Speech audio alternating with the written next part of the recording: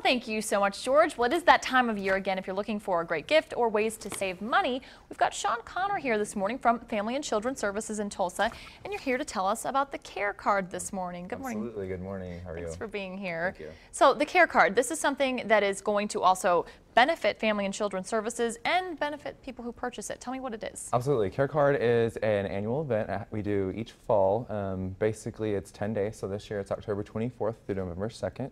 Um, and people, um, people who purchase the Care Card get basically up to 20% off at over 200 stores in Tulsa. Wow, and restaurants too. Absolutely, yeah. What are some of those stores and restaurants? Um, TA Lorton, Restoration Hardware, the Nest on Cherry Street.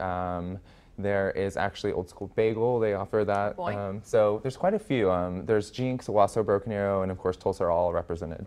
So it's $60 for the card, Mm-hmm. but you can really get hundreds of dollars in benefits Abs- from it. Absolutely. So $60, you'll quickly recoup that. I mean, even in one store possibly. Yeah, when you say things like a restoration hardware store, I mean, that's a big project. You could be getting a huge thing and saving a lot of money. Absolutely. So this is something, though, that benefits Family and Children Services. Tell us about Family and Children Services. Sure. So we began in 1925. Um, next year is actually going to be our 90th anniversary.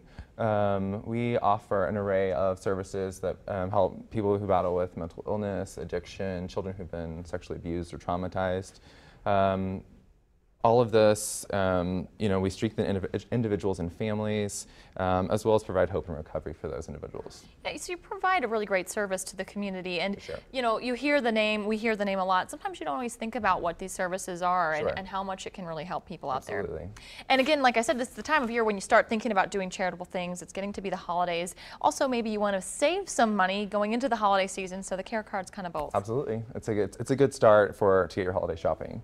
So people can get these care cards starting this coming week on Um, Monday. absolutely. So any of our merchants that sell the cards, which is all available on our website, um, they can start getting those today. Oh, today. Absolutely. So, all so right. if they're open today, go get one. Wonderful. And then they can start using the cards. they start on Friday. on Friday. Wonderful. Absolutely. Well, Sean, thanks for being here this Thanks morning and telling us. us all the information. If you're interested in a care card, they again benefit Family and Children Services. They cost $60 and can save you up to 20% at local businesses and restaurants. For more information, just head to fcsok.org.